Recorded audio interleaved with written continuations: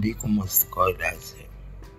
معنا النهاردة نموذج جميل صديقة جميلة من الرضا صديقتنا الجميلة رغم بترعها الساقية واستخدامها للعكازات بتواجه تحديات كتير لكنها بتقدر تتغلب عليهم.